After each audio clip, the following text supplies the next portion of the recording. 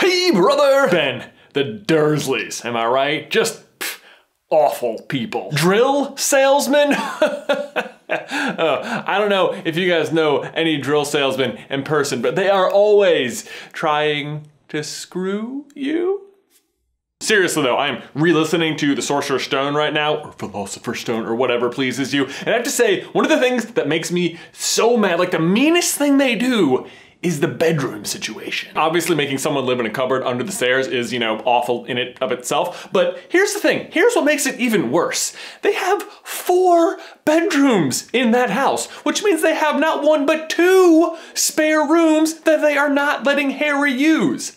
For 10 years! And why are there so many spiders in the cupboard under the stairs? Petunia seems like she's cleaning all the time. Ugh, just makes me feel so bad for Harry. I mean, I really just wish he would have grown up with James Lily. That would have been a lot better, right? Or would it?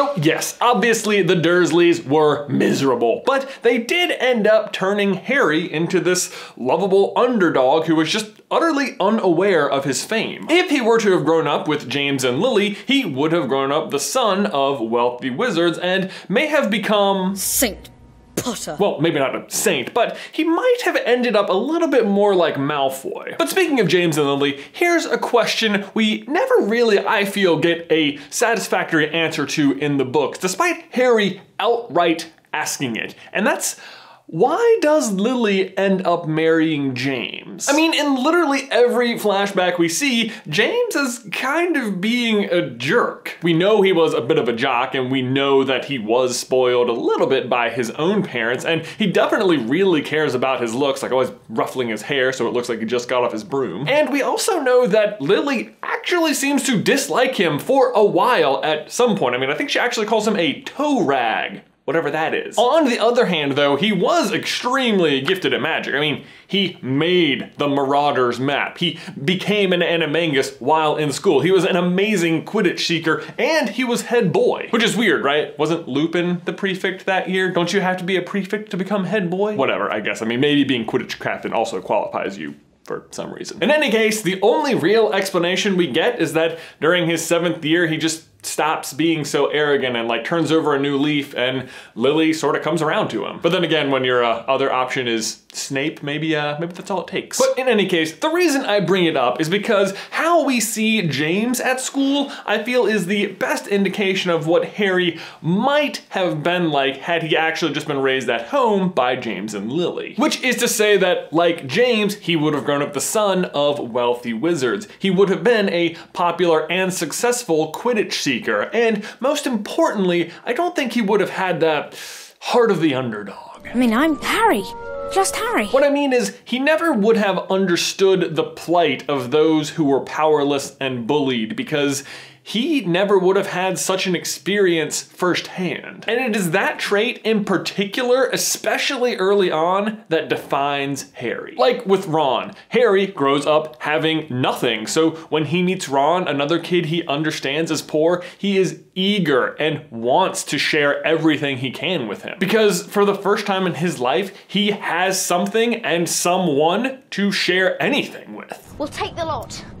Whoa. But on the other hand, you have Malfoy, who is the first wizarding child of his own age that Harry meets, and within minutes, he almost immediately dislikes him because of his prejudices. Even says by the second, he's reminding him of Dudley. When Harry meets Malfoy, he's really only known he was a wizard for like a day at that point, and during that time, he's basically been peppering Hagrid with questions about the wizarding world, trying to get a better grasp of it. And here's Malfoy, this kid who is his own age, who is going to the same school, who knows a lot of stuff, and who is offering up the information freely, and Harry's like, nope. Mm-mm, not you. I think for most kids in Harry's situation, that interaction might have gone a little bit differently. I mean, the comfort of meeting someone your own age who's going through what you are, who's going to the same school, who can teach you things, that's someone you'd want to immediately start talking to, but not Harry, because he knows what a bully looks like. And like I said, once he does meet someone who is friendly with them, that's exactly what he does. Ron ends up being his best friend. I'm Ron, by the way.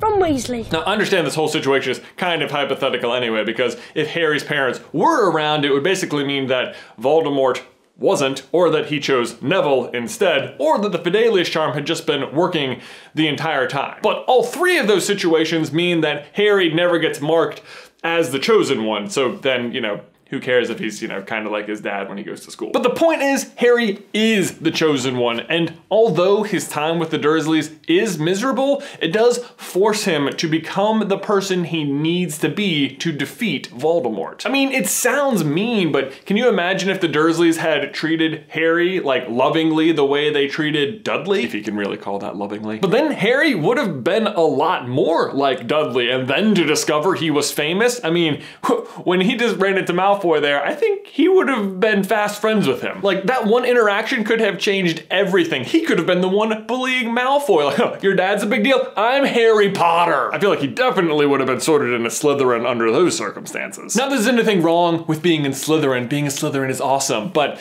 for the purposes of the book, they are typically the bad guys. And really though, being a Gryffindor is so much a part of Harry. So should we be thanking the Dursleys then? Are we happy they were mean to him? Or do we just also wish that they'd been nice to him or treated him like a normal kid? I mean, you never want to treat a kid poorly, but somehow oddly this ends up working out for the best, so uh, well done, Dursleys. You raised the kid who knows right from wrong, even though somehow you don't. But then again, is it even the Dursleys' fault? Should they be the one getting all that glorious credit for treating Harry so badly? Maybe not. If you will recall, in the Deathly Hallows, there is a mm, somewhat important scene where Harry wanders into the woods and sacrifices himself guess that's kind of a plot point. But the reason Harry does this is because he learns that he is a Horcrux and that this is the only way to destroy that piece of Voldemort's soul. By the way, I know we can sit here and argue about whether or not Harry is a legitimate Horcrux because of reasons, but you know what? Undeniably, he has a piece of Voldemort's soul in him. Can we agree on that? And fortunately, we get to see a few examples of what happens to people who spend too much time with pieces of Voldemort's soul. Most notably though, Ron and the Locket. Throughout the Deathly Deathly Hallows, Harry, Ron, and Hermione are all adversely affected by this thing, but none more so than Ron, who after just a couple of months becomes irritable and moody and hateful. And all of this coming from an object he doesn't even like to begin with. Well, what if Harry is having a similar effect on the Dursleys. We actually made a video about this very thing a while ago with a significantly worse thumbnail, but I do recommend you go check it out by clicking the card. So again, Ron is a fairly strong-willed wizard who is being affected by an object he hates. And the Dursleys are kind of dumb muggles who open their home to a baby. And we know the Dursleys are capable of their own brand of love, and even if they highly favor their son over their nephew, I have to think it is really hard to take care of a baby day in and day out and not love it at all. I mean, at least at least a tiny bit, right? What if by opening their home to Harry, they also open their hearts to the effects of Voldemort's soul? I mean, even before they get Harry, McGonagall says they couldn't be less like wizards, and we know they have a disdain for people who are different to begin with, but by the time Harry's 10, it is out of control. Again, two spare rooms! For people who seem really concerned with how others view them, they seem to not be considering at all people are going to think of mistreating a child. They seem to treat Harry poorly for no reason other than that maybe he's a wizard, except there is a reason. Because they opened their home to him, and thus their hearts to Voldemort. And by unknowingly letting Voldemort in, they let fear control them, and so they try to avoid the source they just can't ever seem to place by hiding it under the stairs. Which is just so fitting because then once again, Voldemort causes his own downfall. Had Harry been raised in almost any other way, he almost certainly wouldn't have ended up as noble and courageous as he does. But because just a tiny part of Voldemort is able to corrupt Harry's aunt and uncle, he ends up creating his own worst enemy. Ben, my question for you and everybody else is, what do you think? Do you wish Harry had been raised better or are you happy the Dursleys were such jerks? Let me know your thoughts in the towel section down below. These socks are amazing! And a special thanks to these patrons who support Super Carlin Brothers on Patreon. Guys, thanks for watching. As always, please remember to like this video if you haven't already and subscribe so you don't miss any future Harry Potter action from us. If you'd like to see what Dudley's Dementor vision was, you can check out this video right here. Or if you want to learn why Cornelius Fudge is just the worst, you can check out this video right here. But Ben, that's all I've got for you today, man. I will see you in another life, brother.